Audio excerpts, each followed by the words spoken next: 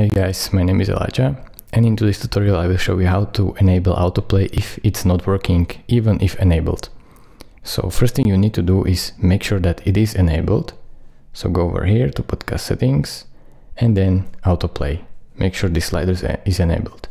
And I have enabled this earlier before and it still didn't work. It's still, my podcast would not autoplay. I will show you right now that it works and I will tell you why and what to do. You know, I'm. So as you can see, they probably won't. Hello, everyone. This is the I would last encourage 10 you seconds. to continue listening to my conversation with my guest on dailywireplus.com. and as you can see, the autoplay is it is playing the another podcast. An author and public. So the thing is, how you do it?